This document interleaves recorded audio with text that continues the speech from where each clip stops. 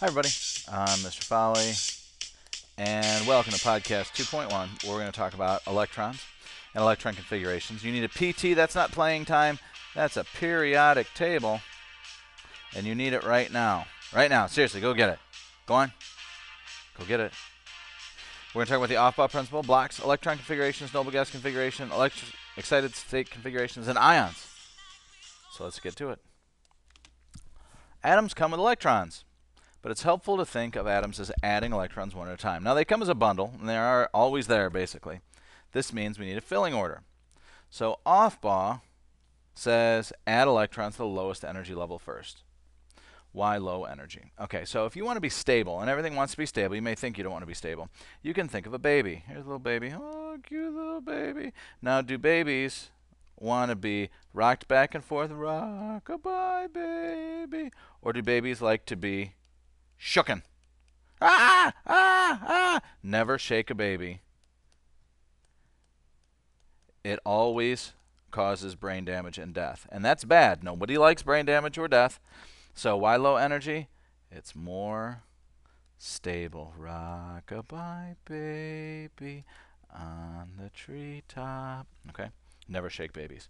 Periodic table shows this order of filling. So the order of filling is bam, bam, bam, bam, uh, bam. So notice it's like reading a book. Okay. Now there are blocks, and if you notice, there are kind of sort of blocks here. So this first block is called the S block. Oh, whoops. This guy over here also belongs in the S. This block over here is the P block. Eh, eh, eh. This is the D block. This block is the F block. Woo! Okay. So as they fill to go through it, they just go across the periodic table. Now, you may notice on your periodic table that there's number 57 somewhere around here, and then 58 is down here. So it goes in the order of the atomic number count. So that will get you in the right spot. Quick questions. So did you draw? My first quick question, did you draw a periodic table and label the blocks? I hope so. Oh, so now you hit pause.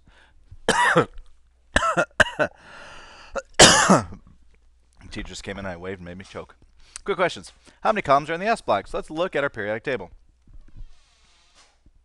The S block has one, two columns. Two. How many electrons are in there? At most two. So anything in this first column has one, and the second column has 2. So on the first row, 1s2 is the most. Excuse me. 3s2 is different how? Well, this is the first row, and then s would be here, and the second row would be here, and 3s would be here. So if I'm looking at a periodic table, I wish I had my periodic table handy. I should have put one on here. Doo, doo, doo. So this is 1s, 1. Helium is 1s2. This would be 2s1, 2s2, 3s1. So can you tell that sodium would be 3s1 and magnesium would be 3s2? That'd be magnesium. How many electrons are in the P, D, and F block? Well, you count the columns. The P has 6 columns, the D has 10, and the F has 14. Oh, I guess I just did that, didn't I? So how many electrons? And that's the maximum number that can fit in there. Give the electron configuration for carbon. So get ready. We're going to go across the periodic table. We're going to do, do, do, do, do, do, do. So the hydrogen part is going to be 1s. So hydrogen and helium are 1s2. If you don't have a periodic table out right now, go get one. Go get one. Trace with your little finger. This is 1s1. This is 1s2. Together you write 1s2 for carbon. Second row. 2 S2. You know what? I'm going to quit this. You watch me quit right now. Woo! Uh, sure, I'll discard them. And I will go to my periodic table and do these. Come on, periodic table.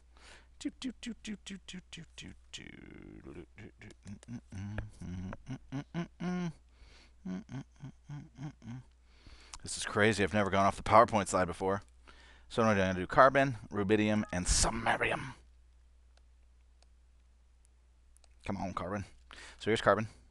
Here's carbon. Whee! That is one first row, S block, two electrons. Second row, second row, S block, two. Carbon, still in the second row. P block, remember how I live with the P block? And there's one, two, two. There's carbon, easy peasy, lemon squeezy. Rubidium. Rubidium is way down here, number 37. So first cross, woo, 1s, 2. Hydrogen, helium, 1s2. Lithium, beryllium, second row, s block, 2. Woo! Second row, p block, 1, 2, 3, 4, 5, 6. Wee! Third row now. Third row, s block, 2. Woohoo! Third row, P block, 6. Fourth row, S block, 2. Now it gets annoying. D block. Oh, D is a core electron and is one hashtag, one number higher. That's a number sign. I won't tell you who that's for, but you already know. 3, D, 10. Huh, it's on the fourth row, but D is up 1. We think of it as being up 1, okay? 3D, and then if I could write neatly, it'd be 10. 1, 2, 3, 4, 5, 6, 7, 8, 9, 10. Woohoo! 3D10. And then I'm back to the fourth row, P block, and 6. Whee! Then I'm in the fifth row, S block, but only one, and I'm done. There's rubidium. Fifth row, S block, 1. Easy peasy again. Samarium. That's a big one. That's number 62. 62. This makes you hate this, doesn't it? Yeah, 62 electrons. Woo! 1s2. Woo! Second row, S block, 2. Woo! Second row, P block, 6. How do I know there's 6? 1, 2, 3, 4, 5, 6. Third row, S block, 2. Third row, P block, 6. 1, 2, 3, 6. Fourth row, S block, 2. Boop, boop. Ah, now remember, third row, not fourth row, D block, 10. What do you guys do 10? Back to the fourth row, P block, 6. Fifth row, S block, 2. oh, I'm not in the fifth one anymore. 4, D, 10. Back to 5. 5P6. Where are you, samarium? Sixth row. Need you up here. 6S2. Boop, boop.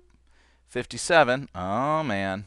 That would be 5D1. Have to chase the... Uh, uh, uh, 58. this is the F block. Ooh, the F block. And we need to go to 62. Now this is weird. The F block, you'd think I'm in the sixth row. It's going to be 6F. Eh, eh, eh. D has, uh, it's up 1, and F is up 2. So it's not 6F, it is 4F. 4F1, 4F2, 4F3, 4F4, 4F5, 4F5. There you go. That's it. Mm -mm Let's hop back to. Come on. SM is a nightmare. I'm scared. There's a lot of repetition. So it was developed to show the outer electrons only. Valence is S and P, and the other blocks are the core. Core notation is synonymous with noble gas notation. So this is what we're going to have to do is noble gas notation. Oh, I have to send this back. Calcium for both. So calcium is 1s2 2s2, 2p6, done the same way as before. 3s2, 3p6, 4s2. So what I'm going to do is I'm going to look at the preceding noble gas, which is neon. Neon ends in 3p6. So this is neon's electron configuration. So what I'm going to do is instead of writing calcium, I'm going to write neon in brackets, which takes care of that whole box, and then only that outer energy level, 4s2. Okay. So that is the noble gas for calcium. Dubnium, dub dub dub dub dub dub dubnium. Dub step number 105. So if I'm looking at number 105, that's a number sign. Um, number 105, my preceding noble gas is radon. Rn is radon. So for radon, that ends in, radon ends in 6p6. So then I'm going to start with 87 to 88. So number 87 is 7s2 is 87 and 88. Number 89 is uh, 6d1. And then 90, so this is number 89. And then 90 to 103 is 5F14. And then I'm back up to Rutherfordium through dubnium, which would be D2 and D3. But I don't want to mishy-mashy all this D2, D3 with this D1. So I'm going to put it right, oh, oh, oh, oh, here. And that's way better than having to write out 102 electrons. Positive ions also lose their valence electrons, and negative ions gain valence electrons. Remember, electrons are negative. So if I have Al plus 3, Al plus 3, aluminum has 13 for Al. So Al plus 3 would be, plus 3 means I lose 3 electrons, 10 electrons. So that would be 1s2, 2s2, 2p6. That's 10 electrons. It's just like neon, which is a noble gas, which is the idea. Oh, look, I just said that. 1s2, 2s2, 2p6. Isoelectronic means same valence electron configuration. So all you really need to worry about is the 2s2, 2p6. All the inside stuff would be the same too. S negative 2 sulfur has 16, but S negative 2 is 18. So that means it's going to be just like argon. 1s2, 2s2, 2p6, 3s2, 3p6. Um, S negative 2 is isoelectronic with what? Positive ions. Remember, positive ions lose electrons. Loser.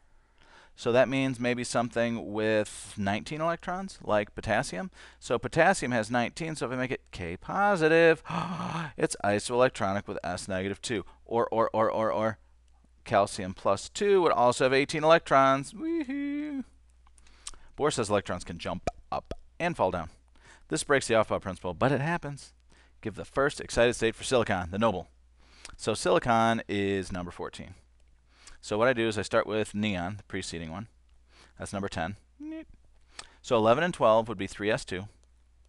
And then silicon would be 3p2. But if it's excited, what happens is one of these electrons, 3p, jumps up to the 4s. 1, I'm so excited, I'm so excited. And that's it.